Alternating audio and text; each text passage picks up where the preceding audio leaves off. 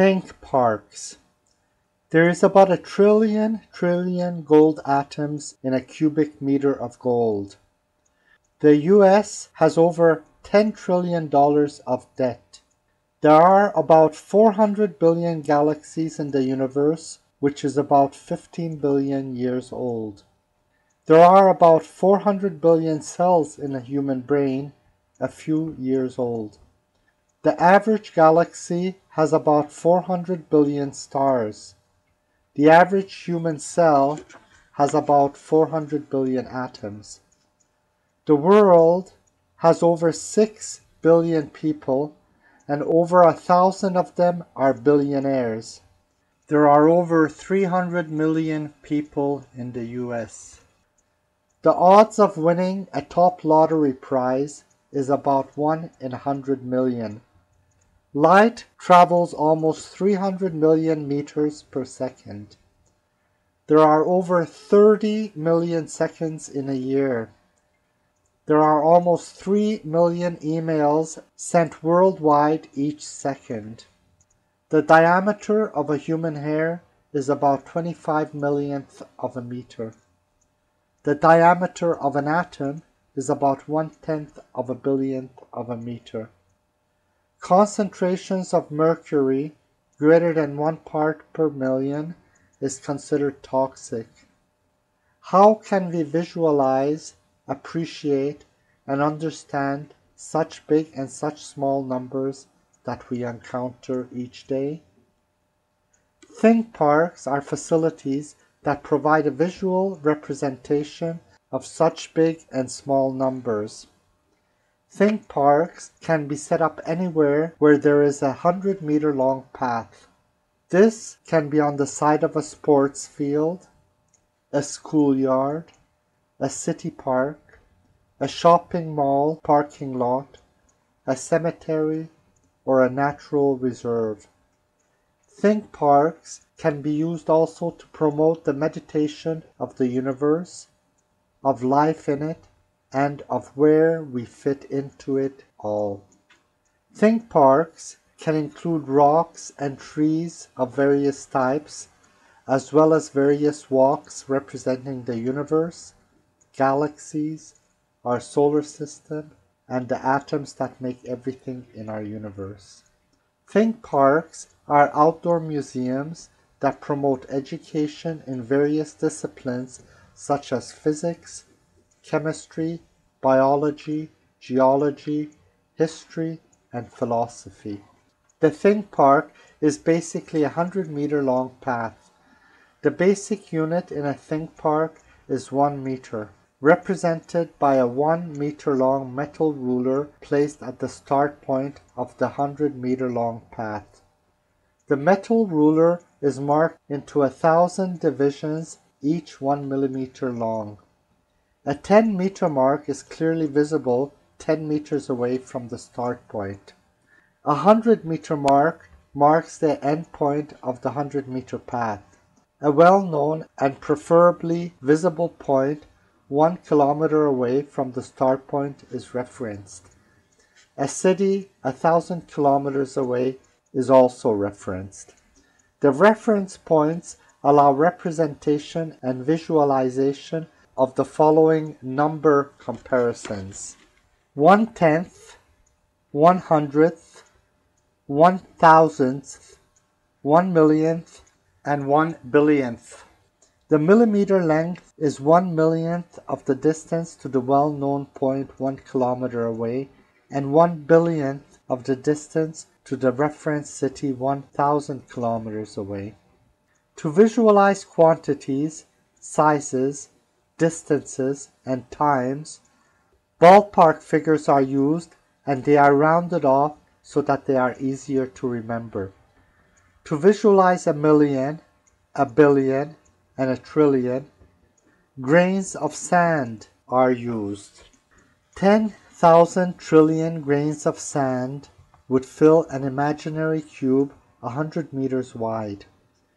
This imaginary cube sits along the 100 meter long path or sits on top of and over a 100 meter long sport field when and where available. 10 trillion grains would fill an imaginary cube 10 meters wide. 10 billion grains would fill a cube 1 meter wide. A 10 centimeter wide transparent cube filled with 10 million grains of sand can be displayed for close inspection. 10,000 grains would fill a cube 1 centimeter wide. 10 grains would fit into a cube 1 millimeter wide.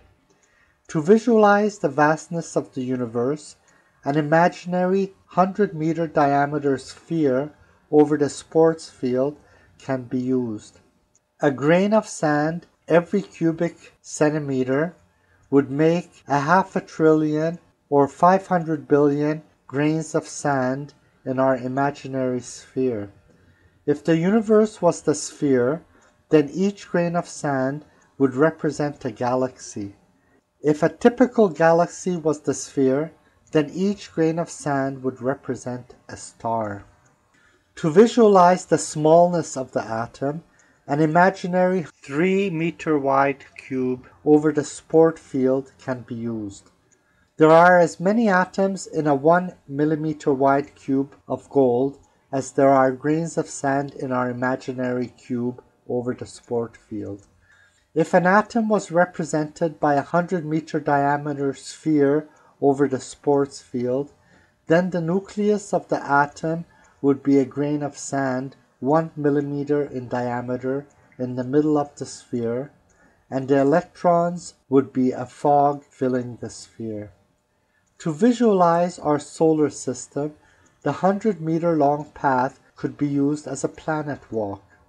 The start point would have a 10 centimeter diameter sphere representing the Sun. In this scale, Earth would be 1 millimeter in diameter 10 meters away.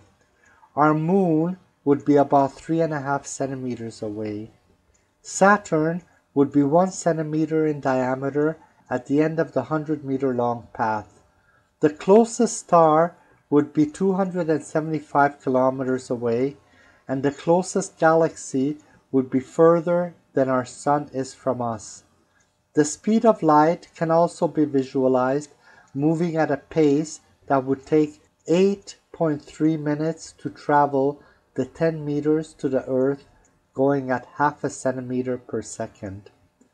To visualize the time frames of our universe with the formation of Earth and the evolution of life, the 14 billion years since our universe came into existence can be scaled to start at the 100 meter path and go 40,000 kilometers around the Earth. With this scaling, 3 meters correspond to about a thousand years. The formation of our solar system would be 14,000 kilometers away, and the origin of life would be about 10,000 kilometers away. Insects would appear a thousand kilometers away, mammals 500 kilometers away, and Homo sapiens 500 meters away.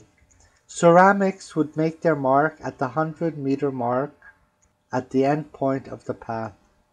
Cloth at 30 meters, copper at 20 meters, bronze at 15 meters, and iron at 10 meters. One millimeter is one thousandth of a meter. One centimeter is one thousandth of ten meters. Ten centimeters is one thousandth of a hundred meters. One meter is one thousandth of a kilometer.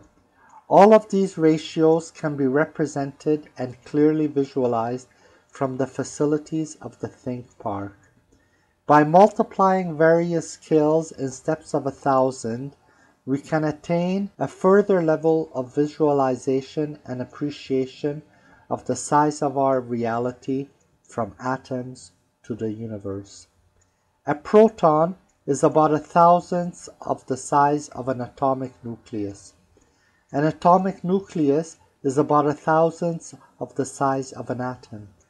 A small bacteria is about a thousand times larger, and a small cell is a thousand times larger than that.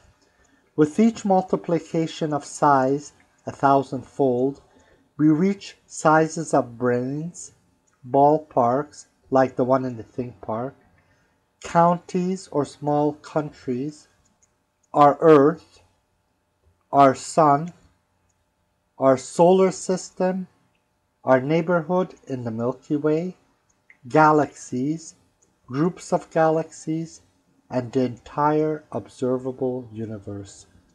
Then we can clearly see that we, the human race, is right in the middle of it all, and we can contemplate about our place and purpose in it and attempt to find and understand God.